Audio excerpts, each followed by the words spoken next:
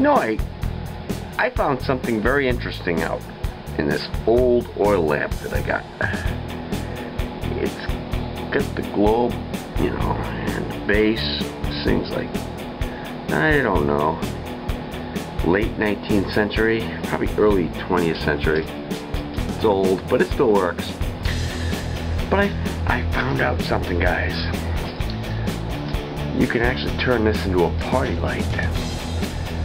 Now we know how they partied back in the 19 or the 1800s. That's just the uh, water pump that's going off, folks. Don't worry about it. Let's just wait till it stops. Somebody flushed the toilet in this house, and we got to suck water up from the well, so don't worry about it. Give it about a minute. It'll shut off.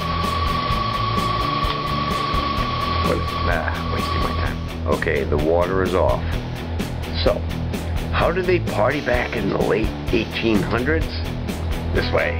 Turn the wick down and watch the magic.